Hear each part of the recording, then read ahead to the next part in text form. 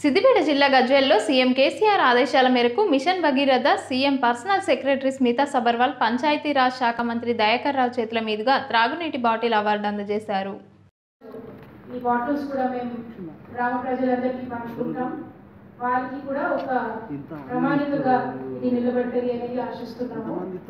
దీంట్లో మీరు వెనుక సైడ్ చూస్తే ఈ నీళ్ళు ఎందుకు ఇంకా ఏమైనా ప్రైవేట్ కంపెనీ నీళ్ళు కంటే బాగుంది అని మేము ఎక్స్ప్లెయిన్ చేశాను దాంట్లో salt content calcium content magnesium content chlorides sulphates sodium ఏం శాతంగా ఉంది అని దీంట్లో చాలా డిస్క్రిప్టివ్గా మేము రాసాము సో ఏమైనా కాలనొప్పి విధంగా వేడగా చెప్పారు.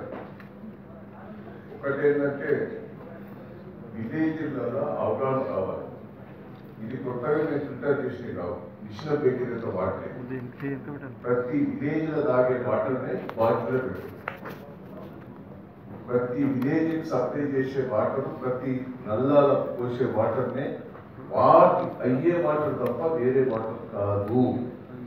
ఆ నీళ్ళే మొత్తం అఫీషియల్స్ కానీ ప్రజాప్రతినిధులు కానీ మేము ఫ్రీగా సప్లై చేసి ఏర్పాటు చేస్తున్నాం. సేల్ కాదు ఇది సేల్ కాదు మేము అమ్మే మీ మీరు ఇది అమ్మేందుకు కూడా పెట్టలేదు ఈ వాటర్ తాగాలనేది ప్రజలు కోరుతున్నాము.